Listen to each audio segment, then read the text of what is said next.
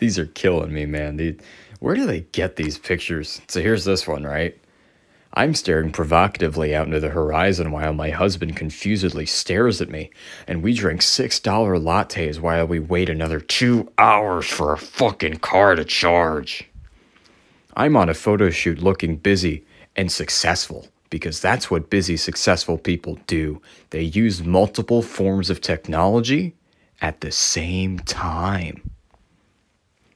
Are you hurting your car? I don't know. I'm pretending to make this look like it takes as long as a gas station fill up, but in actuality, I've been here for over an hour and my meter's only gone up by about 5%. Dude, how does this work? I don't know. Just stick it in there and hold your phone. Yeah, hold your phone just like that, just like that. But I don't know. Just just just stay like that. Perfect.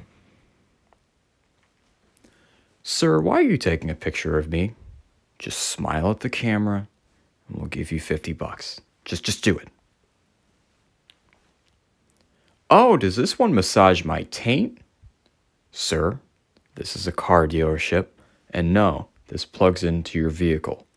Oh!